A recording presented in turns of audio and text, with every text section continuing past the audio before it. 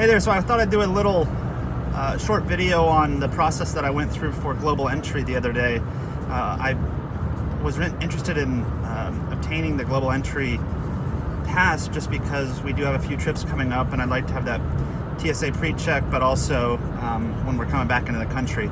So I posted on Facebook to my page to see what the experience has been like for others and how long the process would take. And it really varied. So I thought I'd just share quickly kind of how my process and experience went.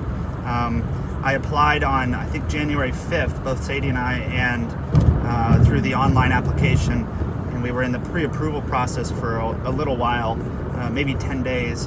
And then uh, on that 10th day, we got the email that we could actually schedule the interview. So that's what we did. Uh, we scheduled it for the next day. And turned out we ended up going to Dulles International completed the interview and walked out within maybe 15, 20 minutes and on the way home received the email that we were approved. So for us, it took about 12 total days from the application process to actually obtaining your known traveler number. So I thought that was pretty cool. Um, so for those that want to do it, I would suggest making sure that you have all of your documentation um, ready to go when you complete that initial application process so that you're not hunting for it. Um, you're gonna need your passport, all of your past, uh, you know, um, addresses, things like that. So anyways, thought I'd share. Uh, pretty cool and super stoked to use this and, and see what type of convenience it can create for us.